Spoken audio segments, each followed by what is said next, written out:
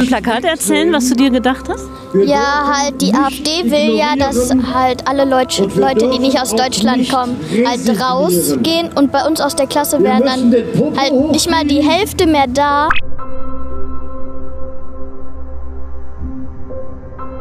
Wir müssen Und aufstehen. ich will halt, dass alle wir bleiben. müssen den Mund aufmachen. Und wie fühlt sich das für dich an, jetzt hier heute mit so vielen Leuten zu sein? Ja, also das ist schon ein krasses Gefühl so, aber das fühlt sich auch gut an.